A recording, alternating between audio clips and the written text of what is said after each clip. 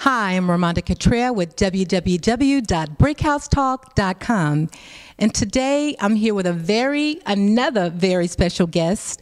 This young lady, we recently featured her on the website because she is a phenomenal, extravagant, Oh God, I can't even think of all the words I can call her, but she is a very beautiful person. And I just want to say before introducing her is that her article received so many hits. She's loved by many and is, you know, obvious because of all that she's done in her life. And I am so happy to have with me Mykale Terrell. How are you today, Mykale? I'm fine. How are you? I am ecstatic right now because, again, as I mentioned, your article received so many hits. You have so many family members, not only in California, but I think it was Atlanta and all over sending messages commending you on your success. How does that feel? It feels wonderful to know that distance doesn't mean anything. You're still loved. Absolutely, and you're definitely loved. So, for the guests that didn't have the opportunity to read the article that was written about you on the website, can you share with them um, a little bit, give them a little history about Mykale?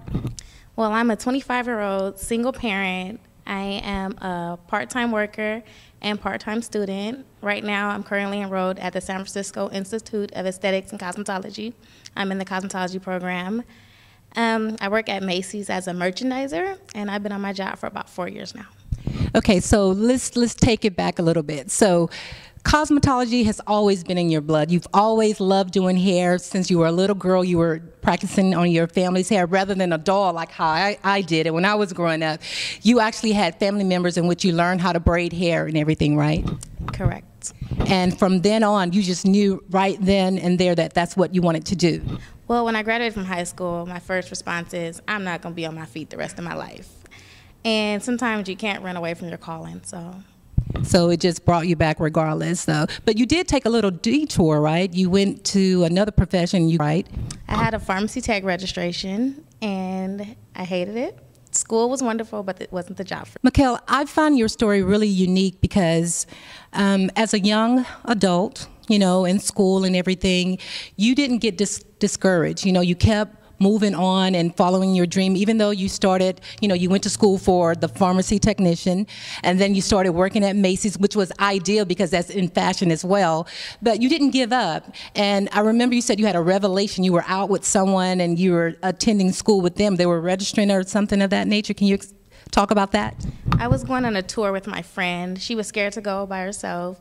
So I went with her, and I just fell in love with the school. Okay, and there was another thing. See, you guys have to go back and read the article because there was another thing that transpired in your life, and it was a unique thing. It was something you wasn't ready for, but it happened, and that was the blessing that God gave you your baby boy, right?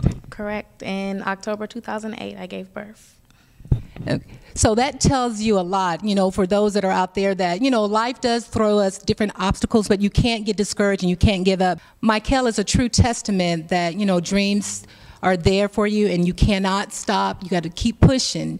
And what can you tell young women as yourself, you know, that still, you know, have that, oh, I wish I would have done this and I wish I could have done that. What do you, what can you, advice can you give them?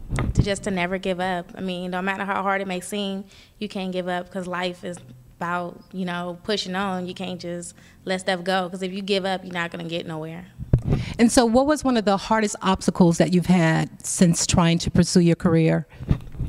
I would say my job. I've changed schedules numerous times and I had to quit school twice, but for the most part, I just kept going back.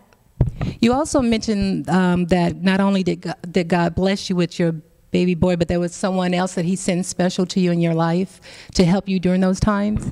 I had an ex boyfriend who stepped in and took responsibility for my son. Well, Brickhouse Talk, we commend that gentleman, whoever you are, for stepping up to the plate and being there for her. And that's one thing I want to say about the website. We're so real, and we want to reach out and show stories of people that are just like us, you know, the ones that we don't hear about. And you are a prime example of that, and I'm so proud of you. So, what should we expect from you in the future? What are you working on? Any big fashion shows, any big hair shows, or anything that you have in the future? Well, I stepped away kind of from the fashion shows while I'm going to school because it was getting kind of hectic between school and work. But when I'm finished with school, the cosmetology program, I will be going back to school for visual communications So I eventually want to do fashion show production. Wow, that is beautiful. And I, I, can just see it all over you. I, I, can see the success, the prosperity all over you, and I know you're going to do really, really well. And I'm so honored to actually really to be sitting here with you. And I, I hope that you would keep in contact with us because we definitely want to follow you and you know give our viewers an update. And I know your family, everybody that wrote in, would like to, you know, see to read about you and your success as well. So when actually is the big day? When do you finish school? Right now, my graduation date is set for the end of August, but I have a goal to try to be finished with school no later than the end of June. Now I'm checking out the hair and everything in the the attire. So can somebody get hooked up? You know, like how would somebody want it, you if they wanted to for you to do their hair and makeup? You know, proms coming up for the high school kids and everything. Are you available for that? I'm always available. I'm available on Sundays and Mondays and Saturday evenings. And we will have her information for you. So if you're interested, definitely reach out to her. I know you can do hair and I know you can put together a mean wardrobe, and we're going to see that before we end the interview. Tell me something else unique and special about you. I have a music fetish, but I don't sing. that I don't. No? Not even in the shower? Well, in the shower and when I'm driving. So, uh, who's your, what artist do you like a lot? I'm a big fan of Monica and Fantasia. I love those two as well. And what's your favorite song from uh, either one of those artists? Monica is Get Away. It, it just tells a story, like pretty much. Like I said, no matter what you go through, you can't give up. Absolutely, that is beautiful. So, what about sports? You know, Brickhouse Talk, we're a sports website as well. So, what basketball, football? You do you like any of those sports? Well, baseball and softball runs in my family, but I never picked up the bat. No. I picked up the tennis racket for like two years in high school, but other than that, I'm not a big fan of sports. Oh, okay. So we have to change that. We're going to work on her. not that you need me to tell you this, but I just want to say to you that I am very impressed with you. I think that you are a very beautiful, confident woman and that you know what you want. You are a epitome of a brick house. And I don't know if you read what my meaning of a brick house is, but I see it right before me. And again, I am so elated to have this opportunity to speak with you. This is genuine, really it is. And I to have to have someone that's basically like me, you know, I we had this vision, we thought about it, we wrote it down and everything, and we pursued it because life is not gonna, you know, what you want in life is not gonna come to you. You have to go and get it. And you are a true testament to that. So I know you had a lot of people supporting you. So is there anyone that you want to give special acknowledgments to at this time? My grandmother, like she's my backbone. Tell your grandmother, what do you want to tell her? I just want to tell her that it's like I'm not really a touchy person and I don't really express myself, but I don't know where I would be without her. Like, and I really truly like love you for everything that you ever done for me. Oh my. And I feel that, and I know that's sincere, and I don't want to get all choked up, but that's beautiful, and I know how special grandmothers are. And um, I know she's very proud of you, along with your aunts and all your friends from the school that all, you know, wrote in and, you know, sent congratulations to you as well. So I just want to hug. You guys, you will have no idea how I have butchered her name so many times. She has a beautiful name, but I keep wanting to call her something else. Can you say it's Michael is her name, and where did you get that name from? My dad name is Michael, and my mom name is Michelle. A very beautiful name, and your son name is Michael.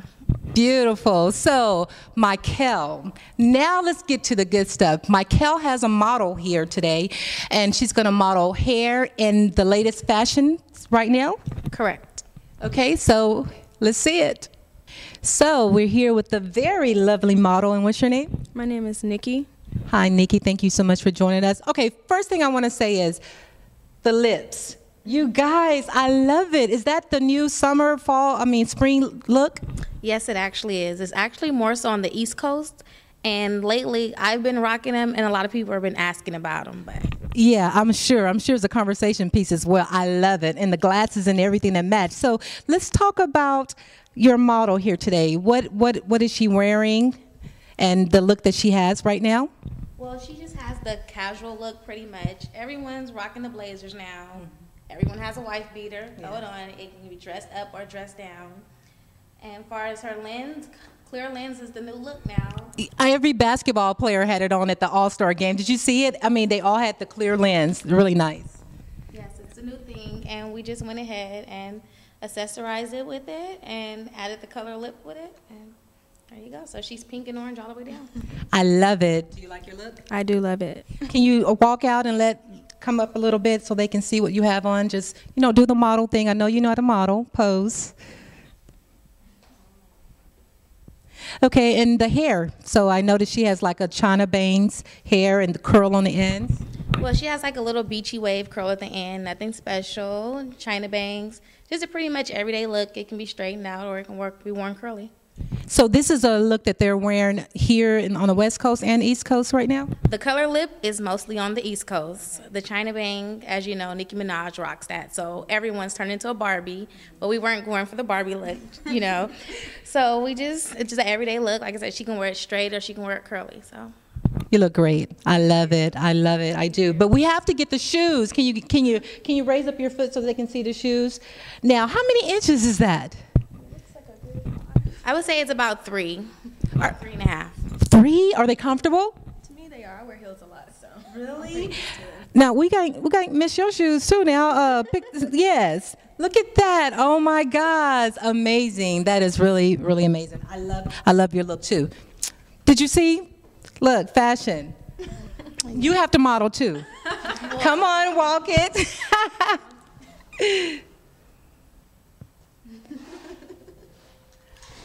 Very nice, very nice. Mykale, it is a pleasure meeting you, and it's a pleasure for you to come here and be the model for her. I really appreciate it. Is there anything else you want to say before we end, end the interview? I want to thank you guys for actually having me and giving me the chance to network and be on your website. And I look forward to working with you guys in the future. Absolutely. Thank you so much. And I look forward to seeing you, your name in big, bright lights. Keep in contact with us as we want to definitely give updates to our viewers. And uh, again, it's a pleasure. You look great, girl. I love it. I want the glasses. this is Ramonda Cutrer with www.brickhousetalk.com.